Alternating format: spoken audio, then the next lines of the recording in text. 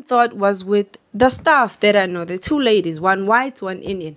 One of them was hounding me about a bill because you have to pay cash. They don't take medical aid.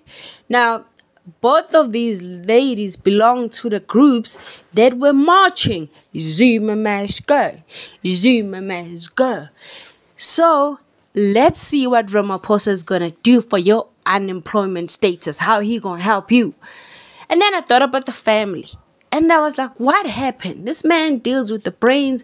He knows the signs of a stroke. I'm sure he's got a medication. You know, if people with diabetes or those taking Ozempic, they can just give them a shot. I'm sure he had something.